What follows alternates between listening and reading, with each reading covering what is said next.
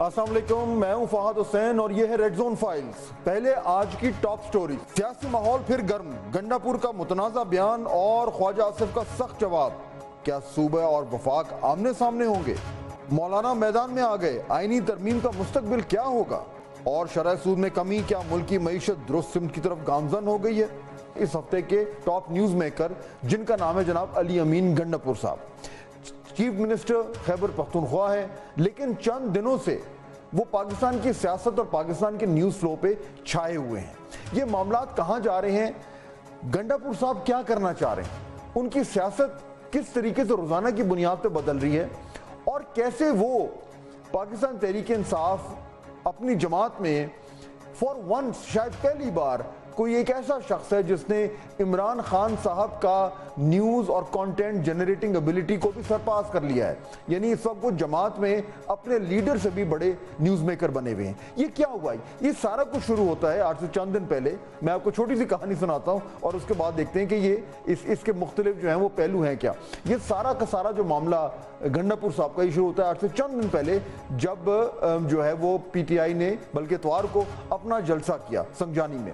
उस जलसे में जो गंडापुर साहब ने तकरीर की, उसने सबको हैरान कर दिया। क्योंकि लोग एक्सपेक्ट नहीं कर रहे थे कि वो इस तरह की बातें करेंगे इतना, इतने सख्त अल्फाज इस्तेमाल करेंगे और इस लबो लहजे में जो है, वो लोगों के ऊपर जो है, वो बरस पड़ेंगे।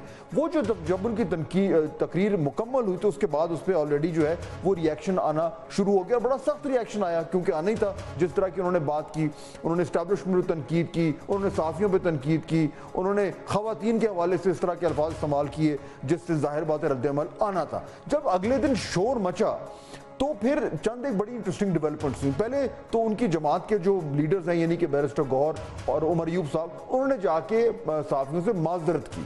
इन्होंने उस यानी बुनियादी तौर पर उन्होंने एतराफ़ किया कि जो कुछ गंडापुर साहब ने कहा था वो आ, सही नहीं था वो गलत था। लेकिन तब तक वो न्यूज़ एजेंडा पे छा चुके थे। हर तरफ़ यही चीज़ें चल रही थी। लेकिन उसके कुछ ही उसी दिन जब सहाफ़ियों की मुलाकात हुई खान साहब से तो उन्होंने मुकम्मल तौर पर उसका दूसरा स्टांस लिया उन्होंने कहा जी जो कुछ गंडापुर साहब ने कहा है वो बिल्कुल ठीक का है। यानी मैं उन मैं उसको इंडोर्स करता हूँ मैं और और, और जो गंडापुर साहब के की, की, की, की जो कुछ उन्होंने कहा उस पर तनकीद कर रहे हैं या उस पर माजरत कर रहे हैं उनकी जमात के हवाले से। वो बुजदिल लोग हैं और उनको जमात में नहीं होना चाहिए। अच्छा अब ये जब आया बयान तो एकदम जो जमात का जो पूरी की पूरी पॉलिसी थी, वो चेंज हो गई। अब यही सब कुछ चल रहा था कि एकदम पता चला कि जी गंडापुर साहब गायब हो गए। उनको कोई रीच नहीं कर पा रहा। अब एक नया जो है वो कंटेंट जनरेट होना शुरू हो गया कि गंडापुर साहब किधर चले गए? किसी ने कहा जी उनको कहीं हिरासत में ले लिया है, किसी ने कुछ कहा। गर्ज ये कि एक बार फिर खबरें जो हैं तमाम तर वो गंडापुर साहब के गिरद घूमनी घूमनी शुरू हो गई। अब ये सब कुछ ये हो ही रहा था कि पार्लियामेंट में ख्वाजा आसिफ ने जो है वो तकरीर शुरू कर दी और जो उन्होंने तकरीर की, वो भी गंडापुर साहब के ऊपर थी। और उन पर तनकीद की। और उसके बाद अभी यही सब कुछ चल रहा था कि रात को एक और इंसिडेंट हो गया, जिस पे पाकिस्तान तहरीक इंसाफ के जो लीडर्स थे, उनको पार्लियामेंट में आके गिरफ़्तार किया गया। अब जब ये खबर जो है वो अगले दिन डोमिनेट करना शुरू हुई न्यूज़ को तो ख्वाजा आसिफ साहब ने अगले दिन पार्लियामेंट में कहा कि जी कि सब कुछ ठीक है, गलत था, लेकिन इसको आइसोलेशन मत देखें क्योंकि ये कनेक्टेड है जो गंडापुर साहब ने कहा। तो नाजिन हम नोट कर रहे हैं कि हर चीज़ जो थी it was revolving around Gandapur साहब। उसके बाद वो वापस आ गए, वो मंजर आम पे आ गए। गंडापुर साहब और फिर उन्हें आके इतनी एक और बड़ी जारहाना तकरीर कर दी। उस तकरीर में क्या क्या, वो कह गए? जरा सुनिए। करता हूँ यहाँ पर। आपकी अपनी पॉलिसी है तो अपनी पॉलिसी अपने घर में रखो। जिस पॉलिसी की वजह से तुम्हें परवाह नहीं और मेरे लोग मर रहे हैं, मैं खुद अफ़गानिस्तान से बात करूँगा। और वो बात करके इंशाल्लाह मसला मैं हल करूँगा। मैंने तुम्हारी खबर में नहीं जाना कि मैं इसमें कंप्रोमाइज कर लूँ। मैं जवाबदेह हूँ। उस जात को जिसने मुझे इस मनसब पे खड़ा किया है, मैं जवाब दे हूँ। उस अवाम को जिसने मेरी पार्टी को वोट दिया है और उससे ये मनसब मिला है। अच्छा लगता है? वेरी गुड नहीं लगता?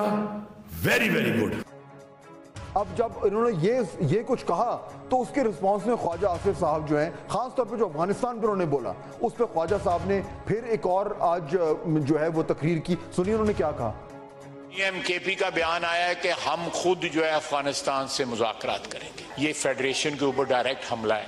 कोई सूबा जो है वो किसी मुल्क के साथ डायरेक्ट मुजाकरात नहीं कर सकता। ये जहर कातिल है इस मुल्क के लिए, जिस रास्ते के ऊपर सी एम के पी जो है खुद चल रहे हैं और साथ अपनी पार्टी को चलाने की कोशिश कर रहे हैं। तो जनाब, आज जो जो हमारा मौजू है वो है ये डी कोडिंग गंडापुर। यानी गंडापुर साहब जो हैं, वो क्या कर रहे हैं? वॉट इज़ एक्चुअली वांट और किस तरीके से उन्होंने पिछले चंद दिनों से मुकम्मल तौर पर पाकिस्तान की सियासत को अपने गिर घुमाया हुआ है? जिस तरह मैं पहले कह रहा था, वो इमरान खान साहब से भी बड़े न्यूज़ मेकर इस वक्त बने हुए हैं। और अजीब बात यह है कि इससे पहले उनके बारे में तासर ये था कि वो बड़े रीजनेबल आदमी हैं मीटिंग्स में बैठते हैं, सरकारी मीटिंग में बैठते हैं, बड़ी मुनासिब बात करते हैं। बाहर आके ठीक है he plays to the galleries लेकिन वो इस सिस्टम के अंदर वो एक ज़िम्मेदारी से काम कर रहे हैं, उनके इस्टेब्लिशमेंट से भी अच्छे रबते हैं, बल्कि कुछ लोग तो ये भी कहते थे कि वो पुल का किरदार अदा कर रहे हैं और जो पिछला, पहला जलसा जो मनसूख हुआ था पीटीआई का, उसमें गंडापुर साहब का बड़ा मरकजी रोल था। तो उनके बारे में एक आम तासर यह था कि वो एक रैशनल रीजनेबल प्लेयर हैं। और वो पाकिस्तान तहरीक इंसाफ को इस निज़ाम के अंदर जो है, वो बड़े तरीके से लेके चल रहे हैं। ये सब कुछ एकदम पाश पाश हो गया उस दिन जब संजानी में उन्होंने स्पीच की। वो स्पीच क्यों की? एक बड़ा सवाल उठ रहा था। Why did he need to do that अच्छा भला उनका एक मामला चल रहा है, एक उनका, एक एक सर्टन रोल बना हुआ है। एकदम उन्होंने इस तरह की स्पीच करके तमाम तर जो कैलकुलेशंस थी, उनको हिला के रख दिया और अब वो बिल्कुल डायरेक्ट हो गए एस्टेब्लिशमेंट से। ये क्यों हो रहा है? इसके पीछे कोई कोई एक बड़ी सोची समझी हिकमत अमली है। Is there method to the madness है जिस तरह वो मुहावरा जाता है?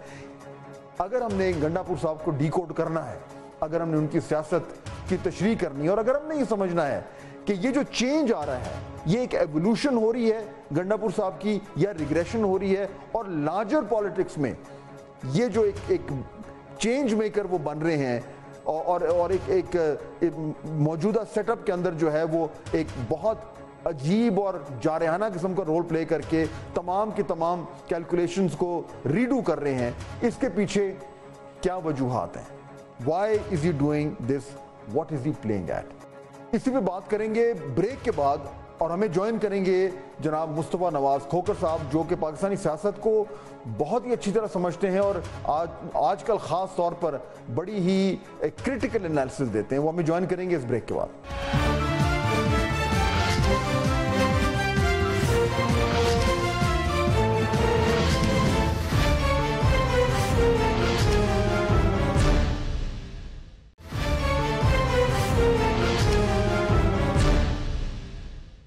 नाजीम ब्रेक के बाद खुश आमदेद। जो टॉपिक है वो है डिकोडिंग गंडापुर साहब। गंडापुर साहब क्या कर रहे हो? और जो कुछ कर रहे हैं वो क्यों कर रहे हैं? तो ये ज़ाहिर बात है ये- पॉलिटिक्स जो है वो वो भी एक बड़ी इंटरेस्टिंग आर्ट है। तो आज हमने एक ऐसे ही आर्टिस्ट पॉलिटिकल आर्टिस्ट को बुलाया है जो कि इन चीज़ों को बड़ी गौर से देखते भी हैं और बड़ी अच्छी तशरी भी करते हैं और बड़ी क्रिटिकल तशरी करते हैं। मुस्तफ़ा नवाज़ खोकर साहब बहुत बहुत वेलकम आपको कभी किसी ने पॉलिटिकल आर्टिस्ट कहा है पहले? दफ़ा कहा पहली बार। पहली दफ़ा मैं ट्रेडमार्क कर हूँ उसको। कर ले। इज़ इट कॉम्प्लीमेंट या? नहीं, नहीं, नहीं, नहीं, नहीं बहुत ज़्यादा कॉम्प्लीमेंट है Very kind जी। प्रैक्टिशनर भी होना और साथ एनालिस्ट भी होना ये दोनों का। सो गंडापुर साहब को आप- को आप देख रहे हैं। पिछले कई दिनों से वो यानी छाए हुए हैं पाकिस्तान की पॉलिटिक्स में इन द सेंस के वो ड्राइव कर रहे हैं कि लोग क्या कह रहे हैं और क्या कर रहे हैं। लेकिन पहले ऐसा नहीं था। पहले you seem like a very different kind of a person क्या आपको क्या समझ आ रही है? ये गंडापुर साहब इवॉल्व कर रहे हैं या रिवर्स गेयर में जा रहे हैं? क्या हो रहा है?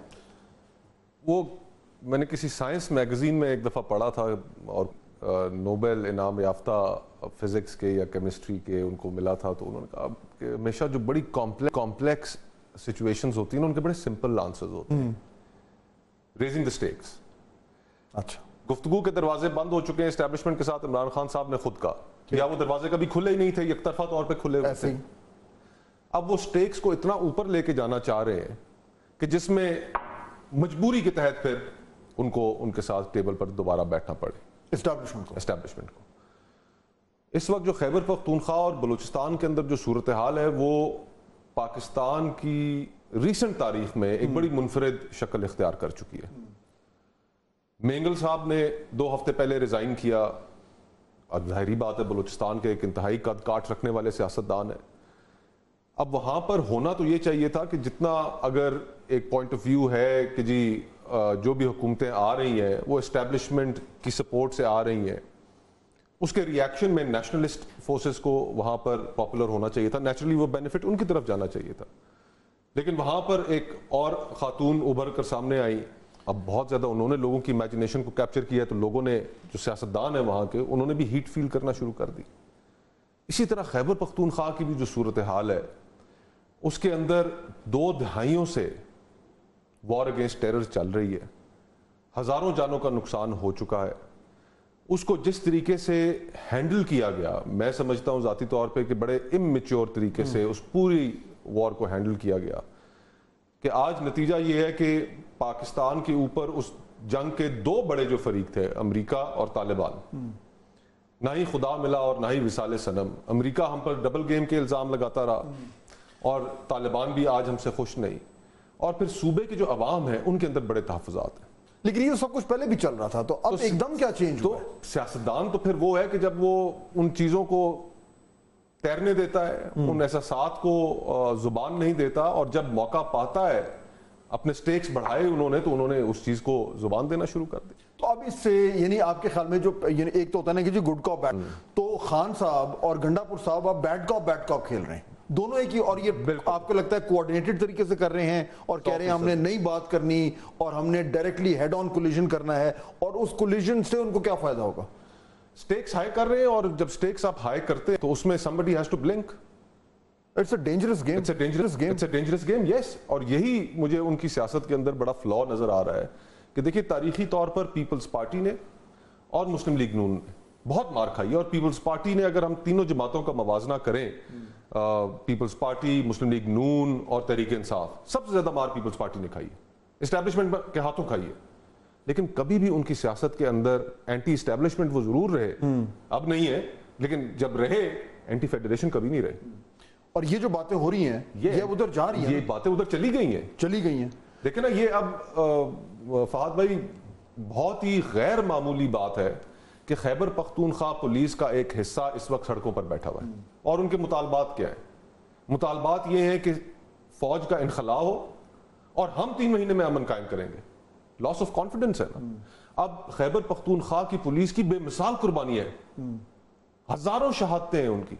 इसी तरह हमारी फौज की भी हज़ारों शहादतें और ये दोनों पार्टनर्स कंधे से कंधा मिलाकर इस दहशतगर्दी से लेकिन ये जो हो रहा है ये भी आप ये उसी में रीड कर रहे हैं कि ये भी स्टेक्स जो हाई किए जा रहे हैं हाँ। उसमें ये एक मैं वेपन तो नहीं कहूँगा लेकिन एक उसका एक स्ट्रेटेजिक या टैक्टिकल ऑप्शन है। एग्जैक्टली एग्जैक्टली दैट्स व्हाट ये अभी रैंडमली नहीं हो रहा। उसके ऑर्गेनिकली रीजंस Reasons मौजूद हैं। उसके ऑर्गेनिकली रीजंस मौजूद हैं। अब उसको सियासी फ़ायदे के लिए स्टेक्स हाई करके निगोशिएट करने के लिए इस्तेमाल किया जाएगा। अच्छा अब अगर अगर इस लेवल पे ये बात चल let let's take your analysis further अगर ये इस लेवल पे बात चल रही है हमें ये भी नज़र आ रहा है कि एस्टैब्लिशमेंट कैसे रिएक्ट कर रही है। और उसमें अभी तक ज़ीरो फ्लेक्सिबिलिटी है बल्कि वो और जो कुछ पार्लियामेंट में हुआ ये तो और चीज़ें बढ़ा रहे हैं। तो और सिस्टम जो है वो ना बेंड कर रहा है ना ब्रेक कर रहा है। तो अगर बैड कॉप बैड कॉप उस तरफ़ से हो रहा है तो यहाँ से भी हो रहा है कि ठीक है जी फिर आपने करना है तो चलें भी देखते हैं कहाँ तक जाते हैं। सो ये where where does this all go then it all leads Pakistan to very एक अनाकी की सिचुएशन में uh, कि जहाँ पर पूरा हम रियासत के मेल्ट डाउन देखेंगे इम्प्लोजन देखेंगे। पेरीफ्रीज में पाकिस्तान uh, की रियासत बहुत कमज़ोर हो चुकी है। General Bajwa with all said and done उनको अपनी पावर की लिमिटेशंस का पता था। अभी रिप्रेशन की भी एक लिमिट्स होती हैं। और सियासतदान अब उस पिच पे पहुँचते जा रहे हैं, उस साइड पे भी। आज देखिए स्पीकर कौमी असेंबली ने कहा कि फिर मुझे भी सोचना पड़ेगा। आप मुस्लिम लीग नून से उनका ताल्लुक है, उस नहज में वो भी पहुँच गए। तमाम सियासतदान यकजुबान होकर के पार्लियामेंट के अंदर नकाबपोश लोग कैसे घुस आए? पुशबैक तो आया है। पुश बैक तो आया है। और अच्छा हुआ है। और अच्छा हुआ है, लेकिन उसके अंदर अब गलती ये हो रही है कि देखिए गंडापुर साहब ने जो तकरीर की अगर उसके बाद ये अमल ना होता तो मीडिया ने चीर फाड़ देना था कि जो उन्होंने उस तकरीर के अंदर गुफ्तगू की थी। सहाफी उस चीज़ को महसूस कर गए कि यार कि ये इन्होंने हमारे कॉलीग्स के बारे में हमारे बारे में क्या बात की है। जो मरियम नवाज़ साहबा के बारे में बात की इखलाक से गिरी हुई उन्होंने बात की। मीडिया ने चीर फाड़ देना था लेकिन आपने मौका ही नहीं दिया। और आप खुद चल दौड़े। और उसके अंदर आपने ऐसी गलती कर दी कि आप पार्लियामेंट के अंदर घुस गए। और सब सियासतदान जो है वो आज उसके ऊपर सब नवीद कमर साहब ने जो गुफ्तगू की बिलावल साहब ने की तो कोई ऐसा एक वाक्य हो जाएगा वो वाक्य हम प्रिडिक्ट नहीं कर सकते। हम उस वाक्य की टाइमिंग को भी प्रिडिक्ट नहीं कर सकते लेकिन चीज़ें उस नहज पे पहुँच गई हैं कि कहीं पर कोई इनविजिबल लाइन क्रॉस हो जाएगी। और खुदा न खास्ता खुदा न करे कि ऐसा हो लेकिन होने वाली है। लेकिन और जब वो होगी तो फिर उसके बाद आई मीन देखिए फिर हजूम ही है। ज़ाहिर बात है जब ये सिस्टम ओवरहीट हो रहा हो तो उसको मैनेज करना मैनेज करना बड़ा बड़ा केयरफुली मैनेज करना पड़ता है। जो गंडापुर साहब जिस तरह की बातें कर रहे हैं उन्होंने अभी फिर जो आजकल तकरीर की और उसमें अफ़गानिस्तान के वाले से भी बात कर दी कि जी मैं करता हूँ और मैं लेके मैं बात करता हूँ। अब चले इन इन अ वे अगर मैं आपकी बात को आर्गुमेंट आगे लेके चलूँ कि स्टेक्स को हाई कर रहे हैं। लेकिन दूसरी तरफ़ वो रिट्रीट के दरवाजे भी बंद करते जा रहे हैं। हाँ। तो जब ये बिल्कुल ज़ीरो सम गेम बनती जाए तो फिर जो स्टेक्स हैं, वो हाई तो हो गए, लेकिन फिर जब वो कोलैप्स करेंगे तो या तो एक साइड बिल्कुल गिरेगी या खुदा ना खास्ता सिस्टम पूरा आगे पीछे होगा। तो ये कैलकुलेटेड रिस्क है, या ये रेकलेसनेस हो रही है पीटीआई की तरफ़ से? देखिए रेकलेसनेस दोनों जानब से। अब जब माशरे के अंदर आपको पता है कि 8 फरवरी को लोगों ने एक बहुत बड़ा फैसला दे दिया, और तमाम तर इस इन इन एनालिसिस के बावजूद दिया कि कोई पाकिस्तान में प्रिडिक्ट नहीं कर पा रहा था मैं नहीं कर पा रहा था। मेरी अपनी कम फहमी उसको कह लें गलती कह लें कि मैं इस चीज़ को नहीं प्रिडिक्ट कर सका कि आठ तारीख को क्या होना है। और लोगों ने बिल्कुल एक मुख्तलिफ़ फैसला दिया। जब लोगों के ख्याल का आपको पता हो और उसके बाद फिर जुडिशरी उसके साथ भी हमने देखा कि इस सूरत हाल का कोई फ़ायदा तो नहीं निकला मामला और खराब हो गए। अवाम के साथ भी खराब हो गए जुडिशरी के साथ भी खराब हो गए। ऑपोजिशन के साथ तो खराब थे ही थे।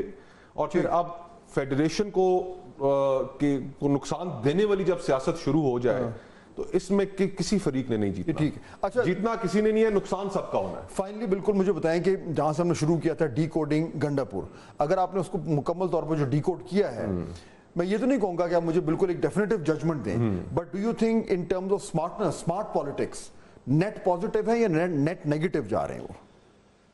Net negative because reckless because मैं ये समझता हूँ कि uh, आपको एंड ऑफ़ द डे बतौर सियासतदान हमारी भी तो रेड लाइंस है ना। मैं फौज की सियासत में मुदाखलत पर खुलकर बोलता हूँ पाकिस्तान में एक तारीख रही है और सियासतदानों ने मेरा मेरा तो कुछ भी नहीं है बहुत लोगों ने बड़ी कुर्बानियाँ दी हैं।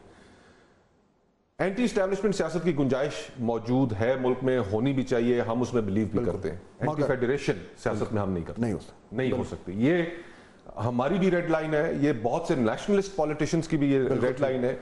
और जब आप उस ठीक। उस सियासत को उस जानिब मोड़ेंगे तो फिर नुकसान सभी का होगा। नुकसान किसी एक फरीक का नहीं होगा और ना ही जीत किसी एक फरीक की होगी। मुस्तफ़ा नवाज़ खोखर साहब बहुत शुक्रिया आपका। शुक्रिया। Nazim important discussion analysis Gandapur साहब क्या कर रहे हैं, क्यों कर रहे हैं और उससे क्या फ़ायदा और क्या नुकसान हो सकता है? ब्रेक के बाद जब वापस आएँगे तो हमें पीएमएलएन से एक सीनियर सियासतदान ज्वाइन करेंगे। उनसे पूछेंगे कि वो ये डिकोडिंग कैसे करते हैं।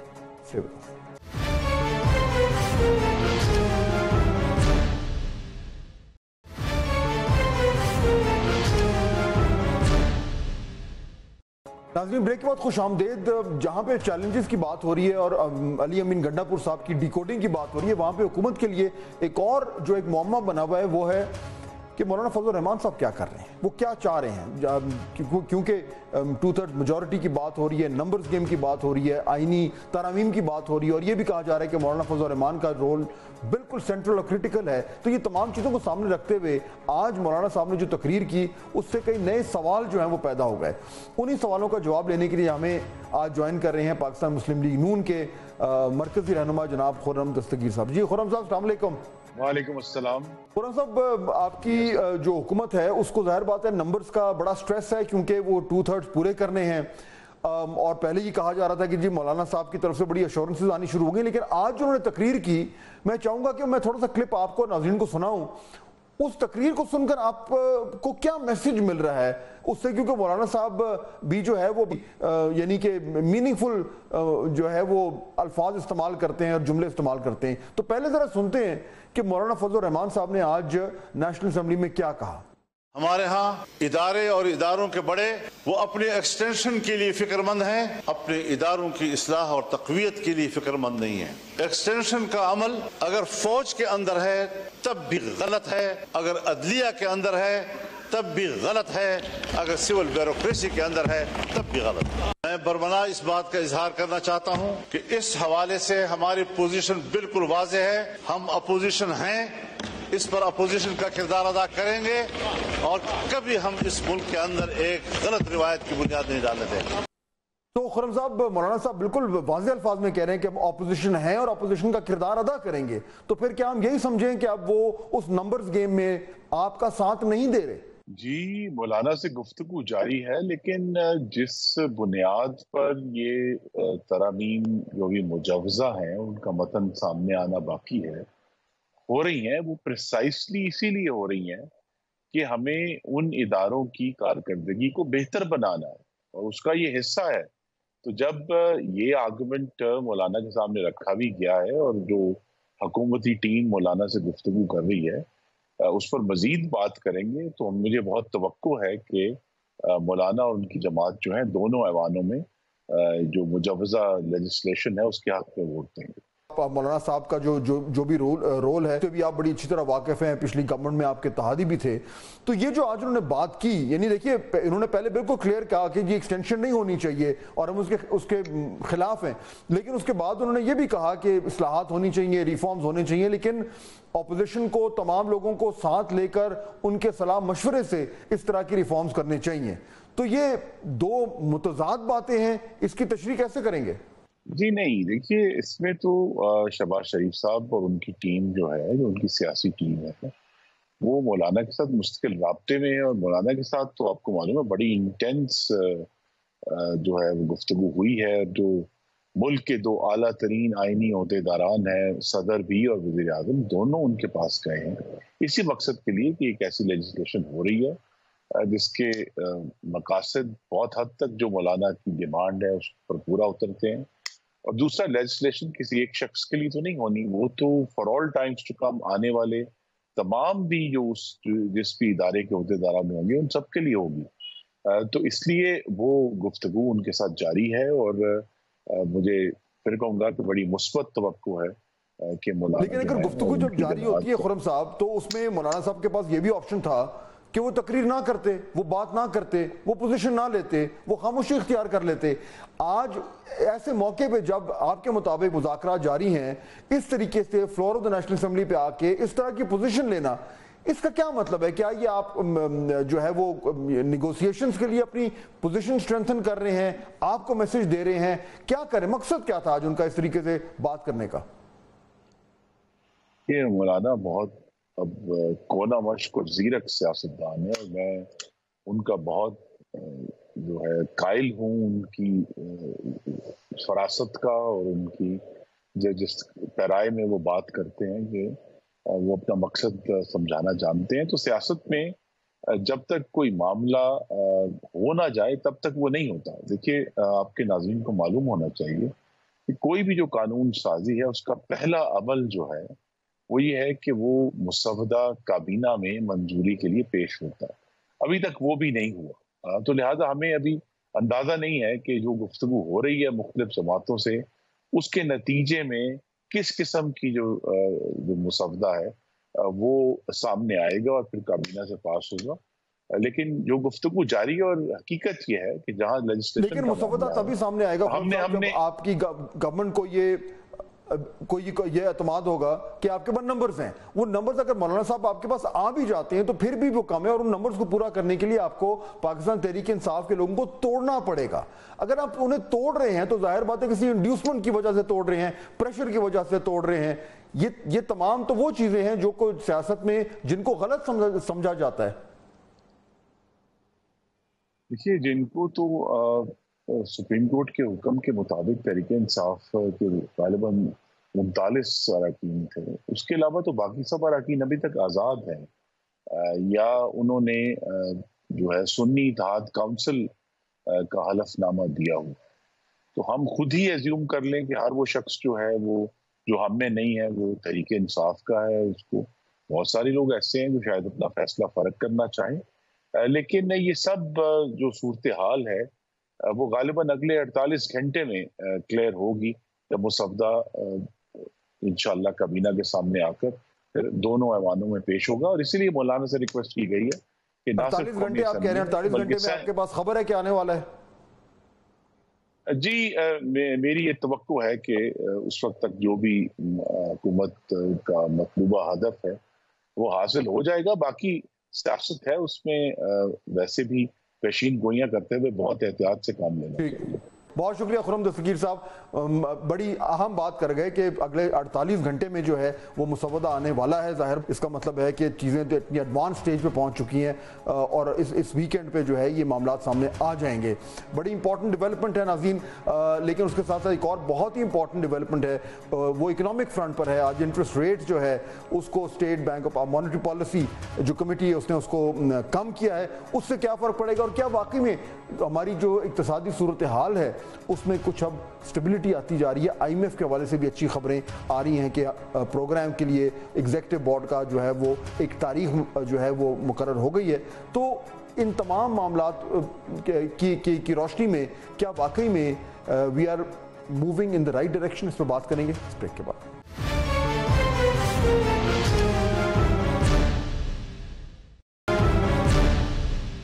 नाजरीन ब्रेक के बाद खुश आमदेद अब जरा गुफ्तु करते हैं कुछ ऐसी डेवलपमेंट्स की जो फॉर वंस लगता है कि कुछ एक फेवरेबल डायरेक्शन में पाकिस्तान पाकिस्तान को लेकर जा रही हैं। हो सकता है कबल वक्त हो लेकिन फ़िलहाल लगता तो यूँ है कि इकोनॉमी में कुछ कॉशियस ऑप्टिमिज्म जो आ रहा है। एक तो पहली बात तो ये कि आईएमएफ का जो प्रोग्राम है उसके हवाले से भी आ, कुछ खबरें आ रही हैं कि वो आईएमएफ के एजेंडे पर आ रहा है और अगर वो आ गया तो ज़ाहिर बात है कि फिर रोशन इम्कान हैं कि वो अप्रूव हो जाएगा। और और जो और जो हमारा आईएमएफ के हम बाकायदा तौर पर जो है वो उस प्रोग्राम में एंटर कर जाएँगे। तो उस पर भी ज़रा बात करेंगे लेकिन उसके साथ साथ आज की जो बड़ी खबर है वो ये कि मॉनेटरी पॉलिसी कमेटी की आज मीटिंग थी और जिस तरीके से एक्सपेक्ट किया जा रहा था कि जो जो इंटरेस्ट रेट है उस, उसको उसमें कमी हुई है। और कुछ लोग कहते हैं कि, कि ज़्यादा होनी चाहिए थी लेकिन फिर भी 200 जो है बेसिस पॉइंट कमी जो है वो हुई है। और उसके साथ साथ अब जो शरह सूद जो कि उन्नीस अशारिया पाँच थी वो अब कम होकर सत्रह अशारिया पाँच रह गई है। तो जो बाकायदा तौर पर जो स्टेटमेंट आया है मॉनिटरी पॉलिसी कमेटी का, मैं उसी को कोट करके आपको बताता हूँ कि उन्होंने इसको किस तरीके से एक्सप्लेन किया है। तेल और गजाई अजनास की आलमी कीमतों में जो है वो कमी रिकॉर्ड की गई है। फिर ये कि आलमी सतह पर तेल की कीमतों में तेज़ी से कमी हुई है। उसके अलावा ये गैर यकीनी सूरत हाल मोहतात मॉनिटरी पॉलिसी के मौक़ की जमानत देती है कि महँगाई और कारोबारी इदारों के अतमाद में भी बेहतरी आई है। इसके अलावा अगस्त में महँगाई की जो सिंगल डिजिट थी नौ अशारिया छः फ़ीसद तक आ गई थी। जून में सिर्फ़ जो है वो पहले बारह अशारिया छः थी। साथ साथ अशिया खुरदनूश की जो बेहतर सप्लाई है उसमें उसकी वजह, वो भी एक वजह है और ओवरऑल जो फ़ूड प्राइसेस हैं वो भी दुनिया में भी कम हुई हैं। जो तोानाई की कीमतों में एडजस्टमेंट की जो वसत थी आलमी अजनास की कीमतों का, का मुस्तबिल और महसूल की वसूली में कमी को पूरा करने के लिए इजाफी टैक्स इकदाम भी शायद किए जाएँ। फेवरेबल कुछ इन्वायरमेंट भी हुई है। ऑयल प्राइसेस भी कम हुई हैं। फॉरेक्स हमारा स्टेबल है। और बिज़नेस कॉन्फिडेंस इसके मुताबिक जो है डॉक्यूमेंट के वो बेहतर हो रहा है। और उसके साथ साथ जो है जो एक एनर्जी प्राइसेस में जो इंक्रीज होना था, वो भी इस स्टेटमेंट के मुताबिक जो है वो क्योंकि डिलेड है तो उससे भी जो है फ़र्क पड़ा है इन्फ्लेशन में। अब ये इंटरेस्ट रेट तो हो गया है कम और कहा यह जा रहा है कि आने वाले दिनों में शायद इसमें मजीद कमी आए जब भी नेक्स्ट मीटिंग होनी है। बिगर इशू इज़ कि क्या इससे वाकई में जो एक हमारी बिल्कुल लो ग्रोथ हुई हुई थी उसमें अब बाकायदा तौर पर फ़र्क पड़ेगा इकोनॉमिक एक्टिविटी शुरू होगी और आहिस्ता आहिस्ता पाकिस्तान जो है उसमें उस जो जो एक बेहतरी की तरफ़ इकोनॉमी ने जाना था, उसके आसार हमें नज़र आने शुरू हो जाएँगे। क्या आज के इस फैसले की बुनियाद पे हमें कुछ हद तक ऑप्टिमिस्टिक होना चाहिए? ये सवाल लेके मैं जाऊँगा। दो मुझे बहुत ही मौजूद मेहमान ज्वाइन कर रहे हैं। इस फ़ील्ड के एक्सपर्ट्स हैं। खुरम हुसैन साहब, पाकिस्तान के मायनाज एक जर्नलिस्ट हैं और उनके साथ साथ जनाब शहबाज राना साहब बहुत ही मुस्तनद खबरें जो हैं वो पेश करते हैं। खुरम, अगर मैं आपसे बात शुरू करूँ, ये जो आज कमी हुई है इंटरेस्ट रेट्स में इसको कैसे रीड कर रहे हैं? क्या आप एक्सपेक्ट कर रहे थे इतनी होगी और ये जितनी हुई है, इससे अब से अब कुछ खातिर खा में फ़र्क नज़र आने की उम्मीद रखनी चाहिए? फहद एक्सपेक्ट तो कर रहे थे इतना। बाय एंड लार्ज इंडस्ट्री और बिज़नेस सर्कल जो भी इनको फॉलो करते हैं वो डेढ़ या दो परसेंटेज पॉइंट्स की uh, की रिडक्शन uh, की उम्मीद तो रखी हुई थी मार्केट ने। लेकिन मेरे ख्याल में इससे ज़्यादा अभी जैसे ही अनाउंसमेंट आई है तो इंडस्ट्री की तरफ़ से Karachi chamber of commerce federation of Pakistan chamber of commerce and industry दोनों ने एकदम से अनाउंस किया है कि ये बहुत कम है और पाँच परसेंट तक कम अज कम होना चाहिए था ये ये रिडक्शन तो आई थिंक इंडस्ट्री जो है वो अभी तक एक्सपेक्टेशन रख रही है कि मजीद और कमी की अभी ज़रूरत है। पाकिस्तान के अभी भी बहुत हाई लेवल पे हैं इंटरेस्ट रेट्स जो है। खास तौर पे हमारी अपनी तारीख में मुझे याद नहीं आ रहा कि आई थिंक 2008 9 के बाद ही कोई चंद साल होंगे जब साढ़े सत्रह परसेंट पे था इंटरेस्ट रेट नेवरदलेस लेकिन आई थिंक काफ़ी हद तक और और आई थिंक कुछ इससे फ़र्क तो पड़ेगा डेफिनेटली लेकिन अभी तक हम लोग उस लेवल पे नहीं पहुँचे जहाँ पे कह सकते हैं कि अब इंटरेस्ट रेट जो है वो ग्रोथ को रोक रहा है। और और मीशत के ऊपर ना एक एक बोझ बना हुआ है। ठीक है। तो वो लेवल आएगी अगली मीटिंग के बाद में। अच्छा शहबाज राना साहब ये बताएँ कि अब अगर अगर ये दो फ़ीसद कमी हुई है जिस तरह खुरम बात कर रहे हैं कि इससे कुछ ना कुछ तो एक फ़र्क पड़ेगा वो फ़र्क कैसे ट्रांसलेट करेगा? क्योंकि इस वक्त अब जो एक एक सेंटिमेंट देखने में मिल रहा है वो ये कि अच्छा जी अगर इन्फ्लेशन में कमी आ रही है तो तो उसका डायरेक्ट इम्पैक्ट किस तरीके से होगा? जो जो नज़र आए, जो जो फील हो, जो लोगों की जिंदगियों में फ़र्क पड़े। सो मैक्रो इंडिकेटर तो स्टेबल हो रहे हैं, लेकिन क्या लोग ये यानी इस पोजीशन में आ गए कि वो कहें कि उनकी जिंदगियों में एक्चुअली इस मैक्रो इकोनॉमिक स्टेबिलिटी का इंपैक्ट आना शुरू हो रहा है। Is is that too early आपको लग रहा है कि वो आपको शायद शुरू हो जाएगा? This is very pertinent question कि अगर महँगाई की जो शरह है, वो 30 फ़ीसद थी पिछले साल और इस दफ़ा तकरीबन साढ़े नौ फ़ीसद है। और शरह सूद जो पहले 22 फ़ीसद थी, अब साढ़े सत्रह फ़ीसद के ऊपर है। तो क्या जो लोगों की जो ज़िंदगियाँ हैं, उसके ऊपर कोई आसानियाँ आ रही हैं? क्या जो कारोबार है, उनको इतना अतमाद मिल गया है कि वो इन्वेस्ट करें, अगर, और या वो नया कर्जा लें मौजूदा कारोबार को चलाने के लिए, वर्किंग कैपिटल के लिए? दिस इज़ अर्ली टू से उसकी दो तीन वजूहत है। इसको स्टेटमेंट को थोड़ा तोड़ के देखना पड़ेगा। क्या ये स्टेप राइट डायरेक्शन में था? दो फ़ीसद शरह सूद में करना बिल्कुल राइट डायरेक्शन में था। क्या ये स्टेप काफ़ी था? ये नाकाफ़ी है। ये जो बिज़नेस कम्युनिटी की बात कर रहे थे अभी खुरम साहब जो बिज़नेस कम्युनिटी है आउट ऑफ़ नो वेयर वो बात नहीं कर रही। एक रैशनल है। और उसका रैशनल जो है, जो स्टेट बैंक ऑफ़ पाकिस्तान का कानून था 2022 में, जिसमें तरमीम की गई थी, उसके अंदर जो इन्फ्लेशन की डिटर्मिनेशन है और उसकी इंटरेस्ट रेट की उसका एक पूरा तरीके कर दिया हुआ है। अब हुकूमत या स्टेट बैंक ऑफ़ पाकिस्तान हुकूमत पहले करती थी। अब स्टेट बैंक ऑफ़ पाकिस्तान जो है वो शरा सूद को वो टारगेट करती है जो हेडलाइन इन्फ्लेशन है। हम्म। मतलब जो आपकी सब नौ इशारिया छः फ़ीसद है। पहले उससे पहले ये कोर इन्फ्लेशन की बेस पे मतलब अब तोानाई और खुराक की चीज़ों को निकाल दें तो बाकी जो इन्फ्लेशन का नंबर बचता था उसकी बेस पे जो है ये इंटरेस्ट रेट डिटरमाइन करते थे।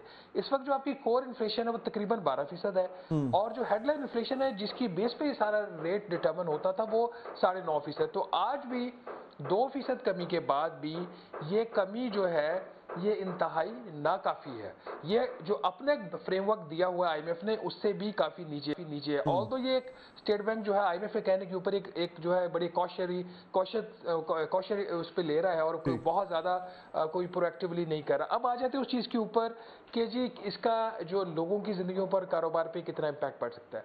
फासा इस वक्त पाकिस्तान जिस स्टेज के ऊपर खड़ा हुआ है, उसको तीन जो है क्राइसिस हिट कर रहे हैं पॉलिटिकल इकोनॉमिक एंड सिक्योरिटी हमारा जो बड़ा बिजनेसमैन है, जो कारोबारी शख्स है, वो कराची, लाहौर, इस्लामाबाद में तो इतने नहीं है, फैसलाबाद, आपका सियालकोट, रावलपिंडी, ये यहाँ से अपने जो कारोबार हैं, उसको ग्रेजुअली अपने कुछ ये अपने आपको प्लेज कर रहे हैं हम्म। बाहर लेके जा रहे हैं अपने आपको लिवरेज कर रहे हैं इन्होंने अपने इन्वेस्टमेंट बाहर लेके जाना शुरू कर दिया अगर ओवरऑल अगर आप सेंटीमेंट की बात करें जो इस अगर स्टेट बैंक की प्रेस रिलीज़ में भी देखें जो इन्होंने आज जारी की है हाँ। वो कह रहे हैं बिज़नेस कॉन्फिडेंस तो इंप्रूव हुआ लेकिन कंज्यूमर कॉन्फिडेंस इंप्रूव नहीं हो रहा तो जब तक कंज्यूमर कॉन्फिडेंस इंप्रूव नहीं होगा तो आपकी जो इकोनॉमी है उसमें उस तरीके से ग्रोथ नहीं आएगी तो ये कॉम्बिनेशन ऑफ़ फैक्टर्स आएगा और ये जो कॉम्बिनेशन ऑफ़ फैक्टर में जो सबसे पहली चीज़ आएगी पॉलिटिकल हाँ। स्टेबिलिटी जो कि पार्लियामेंट के ऊपर क्रैकडाउन से नहीं आएगी।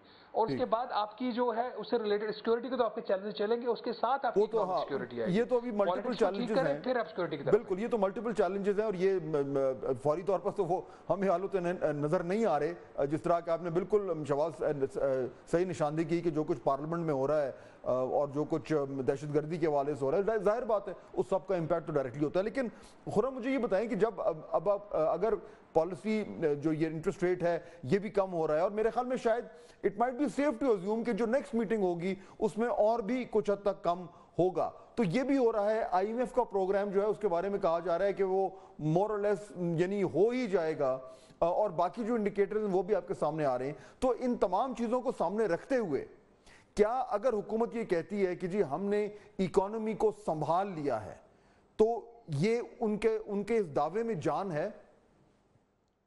Um, फहद इकोनॉमी जो है संभालनी शुरू हुई है जुलाई 2023 से ऑनवर्ड्स जब स्टैंड बाय अरेंजमेंट आईएमएफ के साथ साइन किया गया था और पहली दफ़ा काफ़ी सालों के बाद uh, उसके ऊपर अमल किया गया और उसके टारगेट्स जो है उनको स्मूथली मीट किया गया और उसकी इम्प्लीमेंटेशन जो थी वो कंप्लीट हुई। Uh, जो स्टेबिलिटी अभी हमें नज़र आ रही है इकोनॉमी में आते हुए स्टेबिलिटी तो आ रही है इस बात में कोई शक नहीं है। आ, लेकिन उसकी शुरुआत वहाँ से हुई थी लेकिन ये हुकूमत तो फरवरी में आई है 2000 हम्म। अभी 2024 में हम्म। तो आई थिंक अगर किसी को क्रेडिट देनी है कि ये इसको लाने में किसका सबसे बड़ा हाथ था वो तो इंटरिम गवर्नमेंट जो थी इम्प्लीमेंटेशन तो उनके दौरान हुई थी अलबत्ता इस गवर्नमेंट ने ज़ाहिर बात एक चीज़ ज़रूर की है कि उस रास्ते से हटे नहीं है हम्म। जिस रास्ते पर उनको रहना चाहिए था अब कुछ डिलेज हो रहे हैं जुलाई से लेके अब तक स्टाफ लेवल एग्रीमेंट के बाद एग्जीक्यूटिव बोर्ड कैलेंडर के ऊपर पाकिस्तान को इंक्लूड करना, अगर लेटेस्ट रिपोर्ट्स जो अभी ब्रेक कर रही हैं कि ये डेट भी मिल चुकी है इफ़ दैट इज़ ट्रू तो दैट मीन्स कि एक और स्टेप जो है हमने कंप्लीट कर लिया है। लेकिन असली चीज़ तो शुरू होगी आफ्टर एग्जीक्यूटिव बोर्ड अप्रूवल ये हम लोग एक चीज़ भूल गए हैं कि स्टाफ लेवल एग्रीमेंट और बोर्ड कैलेंडर के ऊपर पाकिस्तान को लाना ये तो स्टार्टिंग लाइन है। इसके बाद रेस शुरू होती है असली। और इम्प्लीमेंटेशन इस प्रोग्राम की जो होगी वो बहुत सख्त होगी हम्म। तो अभी तो काफ़ी मुश्किल जो काम है वो तो आगे है इस गवर्नमेंट के लिए। लेकिन लेकिन are we on the right track we are on the right track no doubt about that okay अच्छा शबाज ये राइट ट्रैक की अगर हम बात करें तो मुझे बताएँ दो, दो तीन चीज़ें very quickly very specifically agriculture में हमने देखा कि जी कुछ परफॉर्मेंस नज़र आई है ग्रोथ ग्रोथ नज़र आई है. ये जो इंटरेस्ट रेट कम हो रहा है जो मैक्रो इकोनॉमिक स्टेबिलिटी जिसका खुरम जिसके इशारा कर रहे हैं अगर ये इसी तरीके से चलती रहे और ये इंटरेस्ट रेट और कम आए तो आपके ख्याल में एक रिटेल सेक्टर बहुत रियल एस्टेट सेक्टर बहुत बड़ा है, जो बिल्कुल डेड है। क्या आपको लगता है कि इससे वो स्पर होगा? और दूसरा, जो टैक्सेशन का मामला जो चल रहा था रिटेल के ऊपर, उसमें लेटेस्ट क्या है कि वो वाकई में गवर्नमेंट सीरियस से अभी तक डटी हुई है?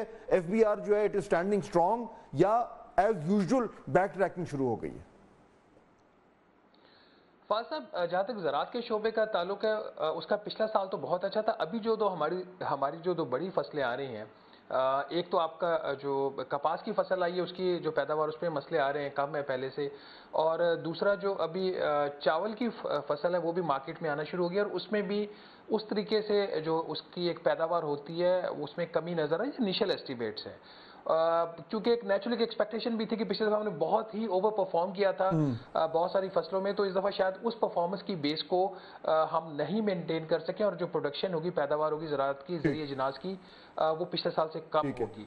लेकिन ये वो सेक्टर है जो कि आपकी इकोनॉमी को भी चलाता है और जो आपकी लो मिडिल इनकम ग्रुप है मिडिल इनकम ग्रुप है उसको एक एक और टाइम खत्म हो रहा है जल्दी से रैप अप अच्छा इसमें क्विकली क्विकली जो आपके टैक्सेशन वाला प्रॉब्लम है ये अभी इमर्ज करेगा। अच्छा। ये एक अच्छी चीज़ हो जाएगी कि अगर 30 सितंबर से पहले आपका जो बोर्ड से अप्रूवल आ जाए अगर ये 30 सितंबर से देर होती जो कि अब लग रहा है कि नहीं हो रही हम्म। तो फिर आपको एक मिनी बजट बोर्ड की मीटिंग से पहले लाना पड़ता। तो इसको आप कंसिस्टेंटली लेना चाहिए, इसको ऊपर बहुत ज़्यादा गवर्नमेंट को भी और मार्केट को भी एक्सपेक्टेशन नहीं बना लेनी चाहिए कि बहुत ही बेहतरी आ रही है। जिस रास्ते पे चले हैं, जो भी खुरब भी कह रहे हैं, उस रास्ते को मत छोड़ें। ताजरों के ऊपर एक कंप्रोमाइज हो चुका है पिछले हफ़्ते। आ, उनको इस चीज़ से एग्ज़ाम कर दिया गया है कि वो जो बैंक्स की उनकी इन्फॉर्मेशन है उनके बैंक अकाउंट्स की डिटेल देने की ज़रूरत नहीं है और उनको अपने असासों की तफसीलात देने की ज़रूरत नहीं है। वहाँ पर हुकूमत कंप्रोमाइज कर गई है। अगर इस तरह के कंप्रोमाइजेज होंगे तो ये जो प्रोग्राम है इस पर अमल बहुत बड़ा टेस्ट होगा बहुत बड़ा टेस्ट होगा। Khurram final word just last ten seconds इन तमाम मामला को सामने रखते हुए अब मिनी बजट की ज़रूरत पेश आ रही है? आई थिंक पॉसिबिलिटी डेफिनेटली है। क्योंकि रेवेन्यू टारगेट्स मीट करने में काफ़ी मुश्किल पेश आ रही है फ़िलहाल। तो आई थिंक पॉसिबिलिटी है कि मिनी बजट आएगा। ठीक है तो जहाँ पे कुछ अच्छी खबरें आई हैं, वहाँ पे बुरी खबर के लिए भी हमें रेडी होना चाहिए कि टैक्स अगर मिनी बजट आए तो ज़ाहिर बात है टैक्सेशन में इजाफा होगा। खुरम हुसैन और शवाज रान साहब, आप दोनों का बहुत शुक्रिया। नाजीन सूरत हाल आपके सामने है। कुछ हद तक बेहतरी आ रही है स्टेबिलिटी आ रही है। और इंटरेस्ट रेट कम होना जो है, ज़ाहिर बात है, उसको सारी वेलकम करेंगे। हालाँकि जिस तरह अभी खुरम भी बात कर रहे थे कि बहुत सारे ऐसे लोग हैं जो कहते हैं कि और ज़्यादा जो है वो इंटरेस्ट रेट कम होने चाहिए। अगर यही ट्रेंड रहा तो एन मुमकिन है कि नेक्स्ट मीटिंग होगी, उसमें मजीद कट्स हों। लेकिन सो फार अगर अब फाइनली जो है वो आईएमएफ का प्रोग्राम भी थ्रू हो गया तो कुछ हद तक जो जिस स्टेबिलिटी का हम ज़िक्र कर रहे हैं, वो शायद हमें नज़र आनी शुरू हो जाए। आज के प्रोग्राम में बस इतना ही। इंशाल्लाह आपसे मुलाकात होगी नेक्स्ट वीक अल्लाह हाफिज़।